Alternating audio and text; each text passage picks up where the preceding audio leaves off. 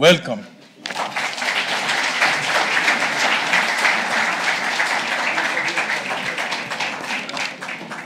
Thank you very much.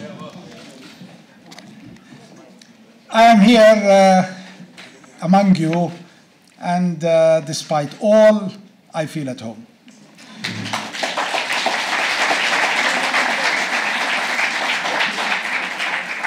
I am here in your conference. I know you are the real partner for peace. You have been, and you continue to be. You have been a real partner for a very long time, and I have really worked uh, with, with those uh, giants who uh, established your party and made it always a, an important factor for peace. You were the party that enabled Rabin from forming his first government that signed peace with the Palestinians. You had 16 members of Knesset then, and you will regain this and even more. We will have 16 now, then we had 12. 12? Okay, you will get uh, 22 this time. so, uh, really, I had uh, so many friends that I remember all the time, from Shulamit Aloni to Yossi Sarid to Ron Cohen to uh, Galia Golan, he's among you here, uh, and of course Zahava Galon, and so many, Mordechai Bar-On, and so many of uh, the good people who re really made it possible for us to start the peace process. They, they were all uh, your people, and uh, that is why, you know, it is very difficult for our people to come to Tel Aviv. Uh, it's not easy, believe me. And uh, I, but uh, I'm, I'm ready to take all the, the difficulties uh, because it's you. Now, I want to start really, I'm, I don't want to be a historian, uh, but I want to start with the past. I, I want to really Uh, just bring back to your memory those of you and of us who really worked hard for peace. And I want you to think back of the fact that peace did work in 1994. It did work. It, it, that peace is not a hallucination, that peace is not a dream that can only be achieved uh, uh, in day in day night dreaming. And uh, because day night uh, day i mean daydreaming uh, is more controllable than night dream. You cannot decide what you will you will see at night but somehow at the daytime you can dream while you are awake. And uh, your dreams can come true or can be totally out of sync with reality. No peace is not a daydream. Peace happened it, it became possible. And it happened because there are people on your side and on our side who worked very hard to make it happen. Uh, I, I uh, modestly uh, did my part all through my lifetime to make peace possible. I remember a lot of my ideas came while I was a, a, teacher at the Wharton School of Finance, the University of Pennsylvania, where no less than 80% of my students were Jewish Americans. Uh, most of them children of stockbrokers from New York and uh, very rich, very rich people. But the professors, uh, again, uh, quite a majority of them were Jewish Americans, were the most liberal, uh, which is really, in my mind, uh, that is a lie when you say that the problem with American policy is the Jewish community in the United States. This is not true, absolutely not true. The Jewish community in the United States is by far the most progressive group of people in the United States, the most educated, the most in, uh, uh interested in, uh, in, in, human rights. Of course, uh, the, the, there are organizations in America that, uh, that take the side of Israel, whether Israel is right or wrong. But believe me, that is not what determines the, the voting pattern of uh, Jewish Americans. And today, if any of you have attended J Street's last convention, you could really see how the young Jewish Americans are really the most progressive in the peace process than their Christian Americans of the same age and of the same group. Uh, and I, I could, uh, in 1969, I published three articles about the Holocaust in Arabic. Uh, very few people, if, if, any, had ever published anything about the Holocaust. And I felt, I felt it was absolutely necessary. If you want to make peace with uh, uh, Jews in Israel, you have to tell your people they are not exactly like British occupiers and French occupiers and, and German occupiers and Portuguese occupiers, that they have passed through the world's worst genocide and they are seeking asylum, they are seeking a, a, a homeland, and you, we can share that homeland. It's a, a, very special homeland, it's a holy land, but uh, we, we can share it nevertheless. And therefore, I felt that Palestinians in general, and, and in particular, and, and Arabs in general, need to know more about the agony and the, and the, and the, the, the, the pain that uh, Jews in the world have went through. I'm not talking about how to make to, to utilize that agony uh, uh, in, in, in, in making policy, but in appreciating the human nature of the, of the Jewish agony during the Holocaust. On that, I based the idea of a one democratic uh, state uh, for Jews and Arabs, Christians and Muslims. And uh, for three or four years, my work was basically on how do you make peace in a one state with uh, freedom of religion and, and worship, but uh, uh, political uh, democracy and, and, all of that. The only answer I got was from then the Secretary General of Histadrut, uh, Aryeh uh, Eliav, Lova, I think they called him Lova Eliav, and he sent it to me via a, a Dutch monk, Dutch Christian clergyman, and basically what he said I like your idea very much and, and your humanity. And uh, I think it's a good idea, but we have to start first with two states. And when the two states work, we can confederate, federate, whatever, and we can really follow the model that the Europeans have done after years of enmity uh, between them. I like that. I like that. And gradually, I had to shift to the two state policy. I thought that one state looks very ideal and looks very democratic. Uh, uh, why not? America is a state just looks like that, and uh, South Africa now is a state that looks like that. And I think what uh, Mr. Mandela has done uh, is, is amazing because after these years of apartheid, Mandela never allowed white apartheid to replace black apartheid.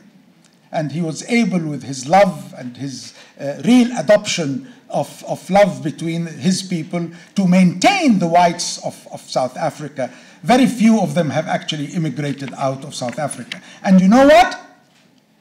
It was the Jewish community in South Africa that played a very important part in that. They were in the whites the group that joined the ANC through the Communist Party of South Africa, uh, which really, I think, made it possible for Mr. Mandela and the leadership of ANC to make this a multicolored revolution against racism and apartheid. And then in 1973, we started really talking about the two state solution and the possibility of accepting Resolution 242 and of uh, uh, uh, going through the, the, the, the, real concession of accepting that Israel will take much more than what the partition plan has given her, which is 78% uh, instead of 54% uh, of Palestine. But that's a fact of life. You'll have to accept it. And we'll work on the idea of a two states on the West Bank and Gaza and, and, and Israel. And in 19, uh, actually, if, if you go from uh, 1973, uh, you can really go to 1982 during the, uh, the siege of Beirut and the massacre of Sabra and Shatila. 400,000 Jewish Israelis went down the street to protest Sabra and Shatila. Not one Arab country had the same.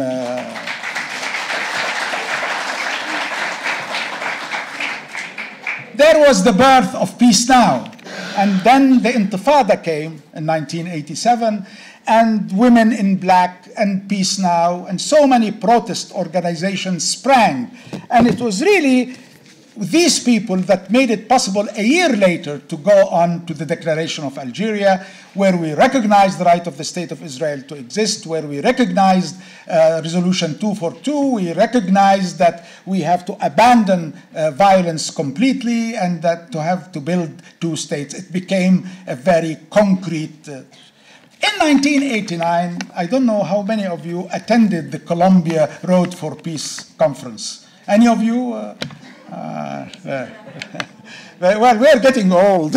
so, so uh, in 1989, in January of 1989, the Columbia Road to Peace was a hootenanny. I mean, it was really a, uh, a, a, conference of love. I mean, it was the first time uh, official Palestinians and semi-official Israelis. I mean, Shulamit Aloni was not a minister then, but I mean, she was an Israeli leader.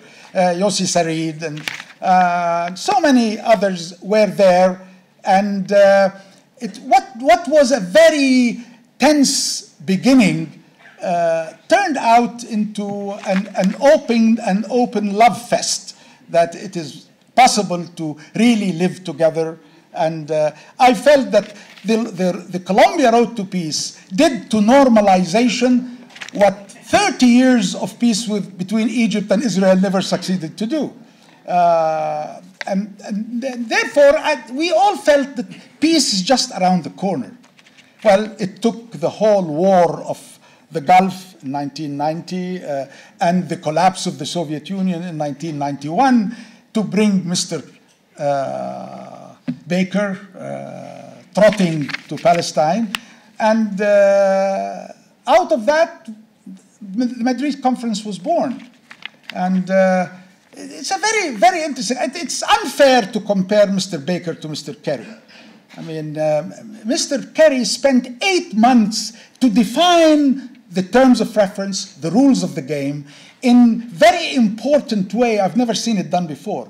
Writing letters of assurances to each party and giving each party the letters he gave to the other party as well. So there was nothing hidden under the table. It was an open sort of uh, preparation. And then he negotiated the letter of invitation to the conference so that everybody knew exactly where to start.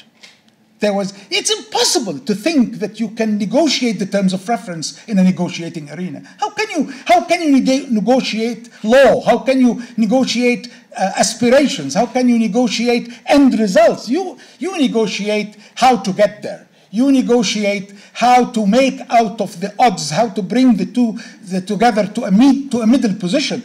But you cannot negotiate the terms. I mean, it's really like playing uh, uh, uh, basketball or football, and the, the stronger team every time starts a game says, ah, ah but we've changed the rules. You either come and negotiate the new rules with us or accept our rules uh, that we can kick the hell out of you and you cannot kick back. We can hold the hand, the ball in our hand. You can only uh, shoot it with your, with, your, with your foot. You cannot do that. Terms of reference are based on international law, on past agreements, on so many things that make it possible for two people or two countries to fell down. okay, Anyway, we went to Madrid and from Madrid to Washington. By the time we got to Washington, it was too late for Mr. Bush and Mr. Baker. It was election time, and we ran, we found the Americans incapable of doing it, so we went to Norway. And uh, Oslo became the trademark for uh, a peace process. But you see, Oslo is, is not just uh, the skill of the Norwegians. Obviously, we are very grateful to the Norwegians. What they've tried to do uh, is really tremendous. And I think it was the only agreement that really worked. I mean, all other agreements either was never reached or never implemented. But the Oslo agreement worked. First of all, it was Rabin and Arafat. And the two had fought each other, but the two had decided to make peace with each other. And secondly, It was as a result, really, of the changes in the world, the collapse of the Soviet Union, the, the Gulf War, the changes in power relationships. All of these will have to be taken into consideration. But the, this, the decision to, to make Oslo work was miraculous, was really miraculous. I, I remember uh, when uh, Bill Clinton came to hug me, and I was not sitting on the stage, I, I was in the first uh, row, he came to hug me and to congratulate me, and I said, uh, uh, Mr. Clinton, you have not lost uh, an Israeli daughter, you just won a Palestinian son.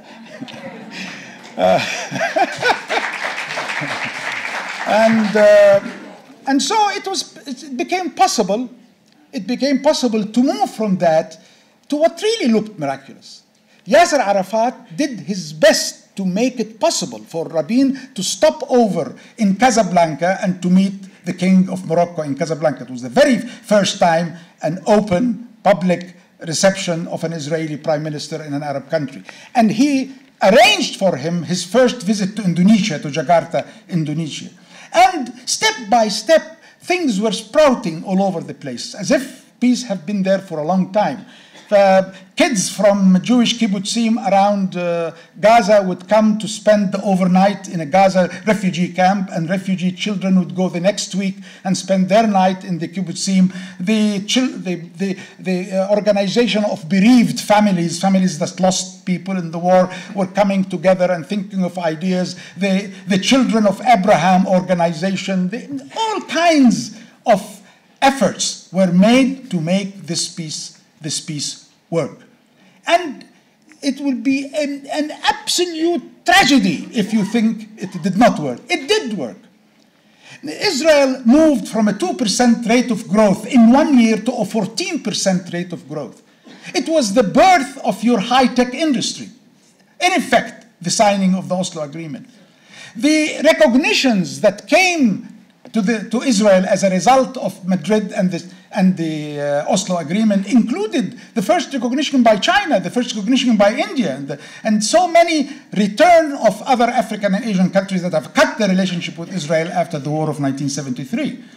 It was the influx of, of, of capital to develop your your, your industry. It was also an, the, the beginning of Palestinian institution building for the first time, building in state buildings rather than revolutionary uh, sort of buildings. Uh, we, we built an airport, we were building a harbor, we built a high tech uh, stock exchange in, uh, in Nablus, eight new universities, hospitals, roads, everywhere. In fact, we in 1994 was a, a, a, a deficitary state. But in, 19, in 1950, uh, wait a minute, 1998, we had our first budget with no deficit in the in the, uh, the, in the current expenditures. I mean, we got money for projects, but there was no needed to put money for the budget for, for current expenses. We are still up till now. We return to a situation where we cannot pay our current expenses. We cannot pay our wages without the foreign aid that, that comes. But in 1998, uh, uh, uh, we were totally out of debt for current expenditure. And in 1999, we had an 8% rate of growth, net growth, after taking price rises into, into, into, consideration. And in the year 2000, the first six months of the year 2000, our net rate of growth was 14% we, we were growing and we were developing. We had an election, we had a, a legislative council, we had uh, security forces, we had uh, uh, industries. In, in, in, Gaza, there was a real uh, industrial zone, and in Tulkarem, a high tech industrial zone. And uh, I, I did go, actually, I had an excellent friend, Stanley Sheinbaum, in California, who introduced me to the Jewish community, the, the Jewish American and Israeli American community in the high tech industry in California. And we were talking about joint interest in investment in high technology. Israel was going to India to get uh, uh, software and was going to Cyprus and to Hungary and Romania to get software when there were thousands of so software writers in the Palestinian economy. So, really, no, no, peace was possible. My first visit to Jaffa, the city I remember uh, after, uh, before 1948, came when I had a visit to Tel Aviv, and, and I, I was in the, the Ministry of Defense in Tel Aviv with the, the late dear friend of mine, Amnon Lipkin Shahak, who just died a few, few months ago. And uh, uh, I went to Tel Aviv, and from Tel Aviv I said, I want to go to, to, to Jaffa. They said, You cannot go to Jaffa, we cannot risk it. And, and they sent with me six military cars to protect, uh, to protect me in Jaffa, believe it or not. And Yet they were amazed because I was offered cups of tea and coffee from Jews and, and Arabs alike. And there was absolutely not one incident of somebody shouting at me or, or, or anything like that. My first uh, uh, airplane ride was from Ben Gurion Airport, and the American consul took me with his car to the, uh, to the airplane itself. So I didn't have to go through all of this. And I went up that that plane, and everybody crowded with their menus asking me to sign them. Uh, uh, long live peace or something like that. So no, I, I say peace. We saw peace work. It can work to the interest of both people. I mean, I don't want to, to bother you with the details, but we were talking about joint energy projects, returning the pipelines from Saudi Arabia and Iraq and the Gulf but, and, and, it will go in a branch. A branch would go to Gaza and another would go to Ashdod, and we will split 50 50 the, tra- the transport of uh, Arab oil into the Mediterranean. Uh, it was then Moshe Shahal, who was the Minister of uh, uh Energy, uh, together with the Interior Minister. We talked about tourism. I had a plan of 60 million tourists to come to Israel and the West Bank when there is a real uh, freedom of pilgrimage and a real uh, freedom of people to visit. But unfortunately, we are in a totally different situation today. We are in a situation in, in which uh, 20 years have passed, and we are still in the interim stage. I mean, I remember discussions with Rabin. I remember discussions with many uh, of, of, of, Israeli leaders. Why do we have to go through an interim stage and then go to a permanent stage? And they said, well, this will be a preparatory period. We get to know each other. This is a trust building uh, period. But it didn't. It didn't. As things change, people change. And the enemies of peace on both sides will really use any change in the environment to try to bring us back to where we were before. Uh, and that's particularly uh, important when the occupier has people inside his occupying that are against any solution based on a two state or any other solution, really, for that matter, except the solution of power. And, uh, and as a result, uh, we have been 20 years in interimness, that is, in an interim agreement. What does an interim agreement mean? It means that we carry the cost of running uh, the government when somebody else makes all the gains for free. I mean, you have 91% of our water is used by the settlers uh, uh, from the West Bank, and 9% is used by all the Palestinians of the West Bank and Gaza. 62% of the land is still called Area C, and it's totally used by the, uh, the Israelis, and, and, really we cannot uh, do it and touch it. And building anything there gets destroyed anyway you get, you're losing East Jerusalem gradually, bit by bit. I remember coming in 1994. I don't recognize Sheikh Jarrah today. I don't recognize Wadi al-Jawz. I don't recognize the, the Jerusalem I saw in 1994. It's changed totally, completely. Settlers, very interesting. I get you the numbers here. 1967 obviously was zero settlers. In 1979, which is 12 years later, there was only 6,000 settlers. In 1988, 180,000 settlers. In 1993, 260,000 settlers. In the year 2000, they became 400,000 settlers. Today, there are 550,000 settlers. And in the last nine months of negotiations, 10,000 homes were, were, were built, which can accommodate 40 to 50,000 new settlers. And therefore, what you are really seeing is a situation in which you are denied control of your resources, you are denied access. Somebody else decides where, where for you to go and where not to go, and when to go, and how to go. And uh, uh, the, the, the exercise of sovereignty is uh, totally taken away, and uh, you are to, to pay the price of, of, uh, of security, you are to pay the price of roads, you have to pay the price of everything. And you have to run begging the Europeans to, to pay you some more and the Americans to pay you some more in order to, to pay those expenses. Uh, that's why you know you hear about ending the Palestinian Authority and all of that, because this is really a, a, a situation of total loss. Whatever you do, you are losing. I was in London about two weeks ago uh, attending one of uh, President Carter's uh, sessions, and I said, uh, we, are we, are, we are off the hook. We have kicked the habit. And we are leaving the casino of gambling called negotiations.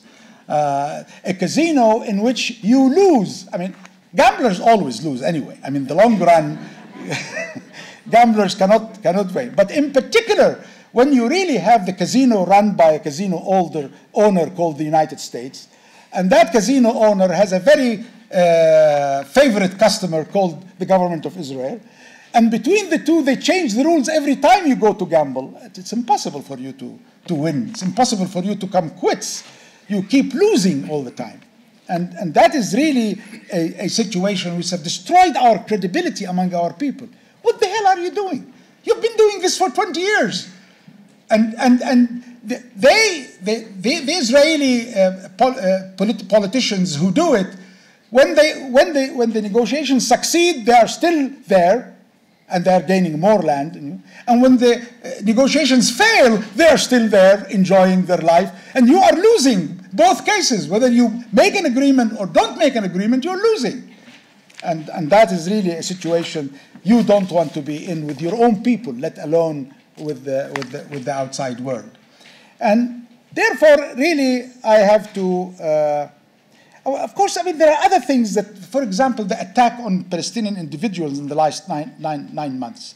Uh, there were 60 Palestinians killed, most of them really unprovoked, including that Jordanian judge at the border, I mean, really with very little provocation. There was attack on on refugee camps for the first time. Three refugee camps, uh, one in Ramallah and, and, and, one in Jenin and one in Bethlehem, Aida camp, that were attacked for no reason. I mean, we are doing uh, uh, security uh, uh, uh, coordination. We are keeping the security. I mean, why the hell then do we keep the security if you are going to bust despite our, our role and our responsibility, refugee camps and other places in order to, uh, to arrest people or to do this or to do that. It is, it is not really a, a very happy situation, economically, politically, in any other way.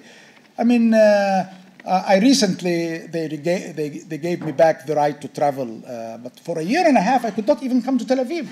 I could not uh, go to Jerusalem. And going through the Jericho with the Allenby bridge with a bus. Uh, it's not a bus, it's six buses you have to go through and get searched four times in order just to go across the bridge because we cannot go to Ben Gurion. I used to be a VIP in Ben Gurions and, uh, and I used to really go to Ben Gurion without any. Uh, things now have become just impossible. And the situation in Gaza is really beyond belief. No water, no energy, no roads, no access, no, no life, no employment. Things cannot go on this way.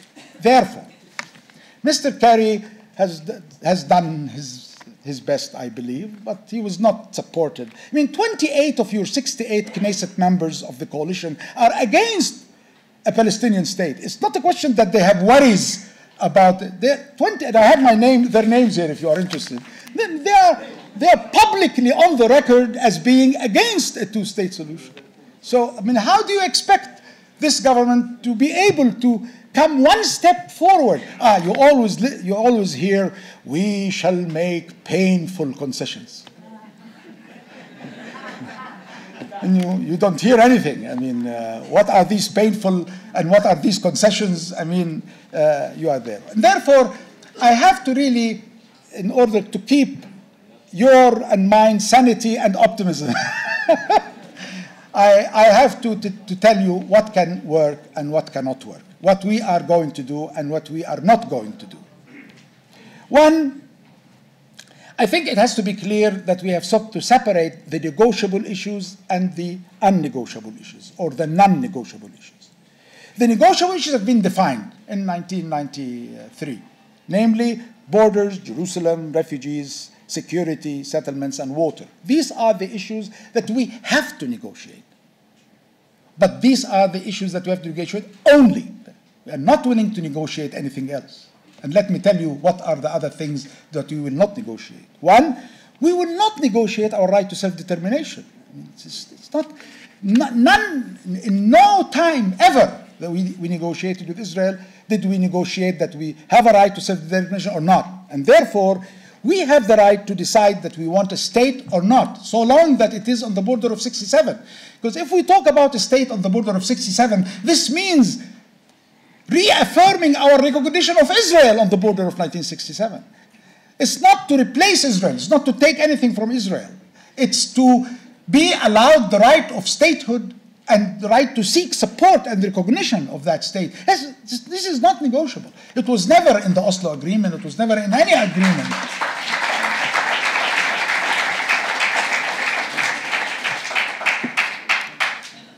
Okay. thirdly, we really should not negotiate our geographical unity with Gaza. And to that, Israel does not really have the right to tell us you can unite with your brothers in Gaza or you cannot unite with your brothers in Gaza. I just had a, question on coming in, and I said, if Mr. Netanyahu thinks it's kosher to have an, uh, an agreement with uh, Hamas on uh, uh, uh what they call tahdi'ah, which is uh, ceasefire, and he used Hillary Clinton and Mr. Morsi, the Muslim Brotherhood president of Egypt, uh, to do it. And if he negotiates for the exchange of shalit and he uses the Egyptians and the Germans to do it, if it's okay to do that for Mr. Netanyahu, then it's definitely okay for us to negotiate what would bring our people together and will end the misery of our people in Gaza. A misery that will continue.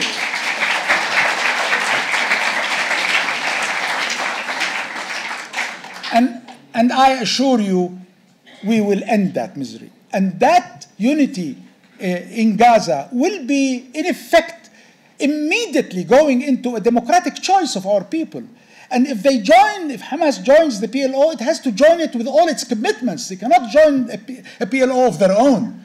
It has commitments, and Abu Mazen have shown really his consistency to the commitments he has made, and we have made all along to make that peace, that peace work. He will end the militias uh, in the streets like what you see today in Syria and what you see in Libya and other places. And there will be one security organization.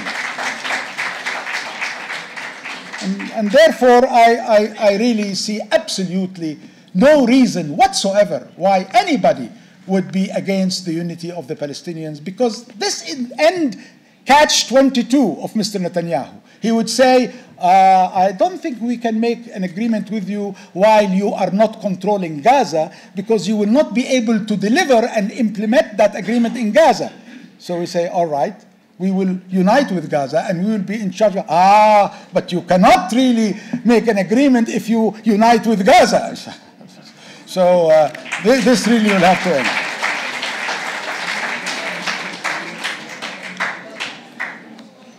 We need access to our natural resources. It cannot really be like this. I mean, Area C will have to be uh, at least back to the, the exploitation and the, the, the, rightful ownership by Palestinians who own their land in Area C to build their houses, to, to grow their, their and the gas, the gas in, in, in Gaza has to be pumped out and I think the, the, best market for it is Israel itself, but it has to be a Palestinian gas that we make use of it.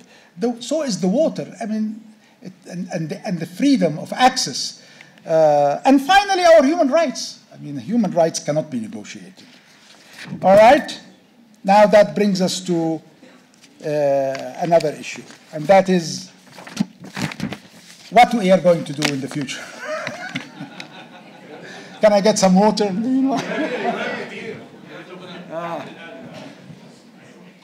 I have to go underground.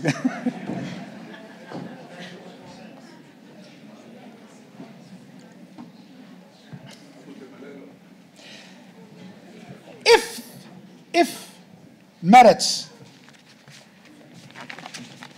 wins, let's say, 16 members in the next elections.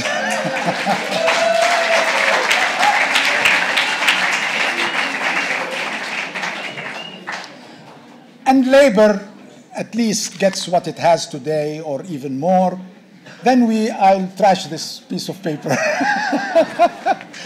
and uh, we should be able to get back to negotiations very soon. And you will, you and us will fulfill a dream, particularly those oldies like me who have been working in this for a very long time, is to really die happily. Uh, because really, it's frustrating for my children to keep asking me, Daddy, you've been doing this for 50 years or so. Uh, I'm just 55, but it's okay. uh, and if you, you've got to really show something for all of that. Uh, I think a, a, government in Israel, which is once again topped by Meretz and the parties who want peace, will make life easy for all of us, Palestinians and Israelis, and therefore there is no need to look for alternatives. If this, and we'll keep my, my fingers crossed, if this doesn't work, then we have to really uh, go into those measures that would make the government of Israel, whether it's Mr. Netanyahu or somebody else, think seriously about a coalition that can at least make progress. Two, think seriously about the cost of not reaching an agreement. Today, eh, there is zero cost for not reaching an agreement. Everything is fine. Uh, whether we reach an agreement or not, we're still occupying the land of the Palestinians. The Palestinians are responsible for security, they have to deliver. And we can complain that, uh, if they don't, and we can even go and occupy and arrest in, in, in the Palestinian territory. So we're, we, we're fine. We, we have no, nothing to lose. And therefore, we have to at least make the government of Israel feel that it's not only a gain to make peace, but there will be loss of not getting there. I think this, this lack of uh, parallelism to the Palestinians and Israelis have, have made all, all the difference. And therefore, we will go to the United Nations and we will ask countries in the world to recognize the state of Palestine.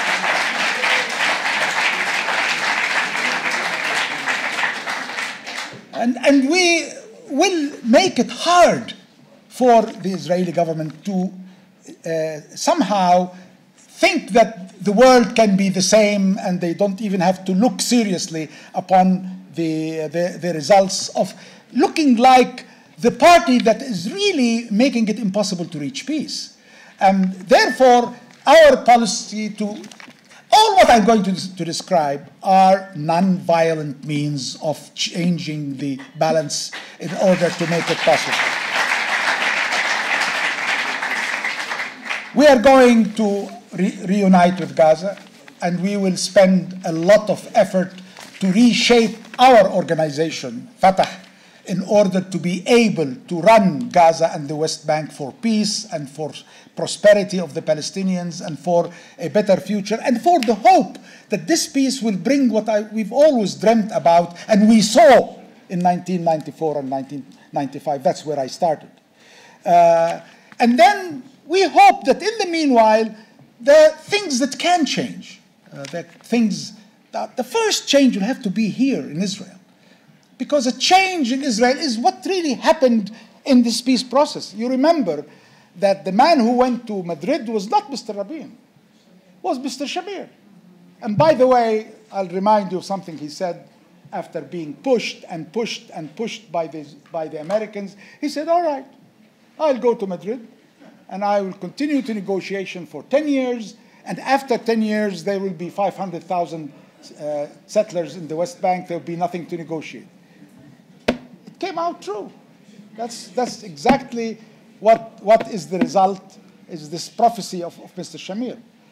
But once there was a beginning of this peace process, and once really the Israeli people start feeling that there might be something really good for Israel if we go to, to a peace process, and not only for the Palestinians, Mr. Rabin took over the Labour Party, if you remember. And then two months later, or three months later, there was an elections in which Labour won, but only with the 12, I'm sorry to, to correct, the 12 members of, of Meretz and the four Arab uh, party representatives. And Rabin, with that thin but strong majority, was able to make the peace process work. So it is not impossible, it's doable. And I assure you, we will continue our commitment to go back to negotiations and to build that peace process together if we avoid the mistakes that was, were committed in the last negotiations. Settlements have to stop. There is no other.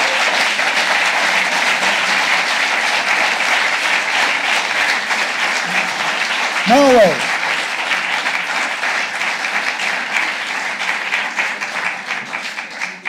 And the right of the Palestinian people to live in real uh, security and happiness is something that I'm sure is something that you will also appreciate for your own people and for our people.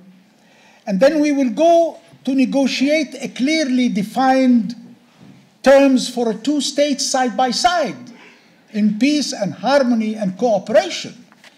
And we will be able to resolve all the outstanding issues that we have so that we can get a situation where the conflict ends and we move towards a future. It looks difficult today.